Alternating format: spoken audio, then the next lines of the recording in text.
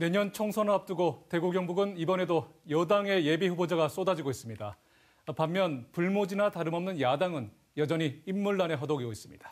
오늘 대구에서는 더불어민주당 예비 후보가 처음으로 출마를 선언했는데요.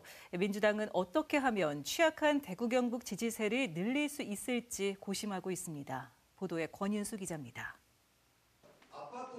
내년 국회의원 선거에 뛰어들 더불어민주당 대구 예비 후보 가운데 권태흥 달서구갑 지역위원장이 처음으로 출마를 선언했습니다. 야당 불모지인 대구에서 변화의 바람을 일으키겠다고 다짐하며 본격적인 선거운동에 돌입했습니다. 대구에서 다른 목소리도 내고 시민들의 대변인이 될 수 있도록 일할 수 있는 기회를 주십시오. 풀뿌리 기초의원들로 총선 기획단을 구성한 대구 민주당은 주민을 찾아다니며 생활 밀착형 정책 개발에 힘쓰고 있습니다. 훌륭한 인재를 영입해 가려운 곳을 긁어주는 정책을 내세운다면 승산이 있다고 보고 있습니다. 지금은 후보가 누구든지 간에 20, 30% 이상으로 인지도는 많이 올라와 있습니다. 여기서는 저희가 중요한 것은 이제 더 좋은 인물들을 내고 더 좋은 정책을 낸다면 충분히 끌어올릴 수 있다고 생각하고 있습니다.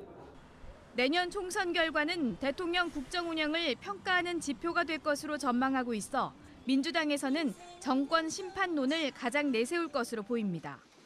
하지만 중앙당에서조차 정권을 견제할 굵직한 정책 대안을 만들지 못한 채 탈당과 창당 움직임으로 내홍을 겪고 있어 정권 심판론이 지역에서 제대로 먹혀들지는 미지수입니다.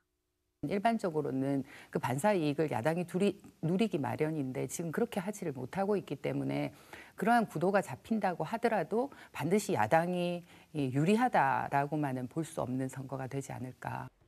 보수의 오랜 독주가 이어져 온 대구 경북에서 민주당이 이번에는 과연 얼마나 지지세를 넓힐 수 있을지 주목됩니다.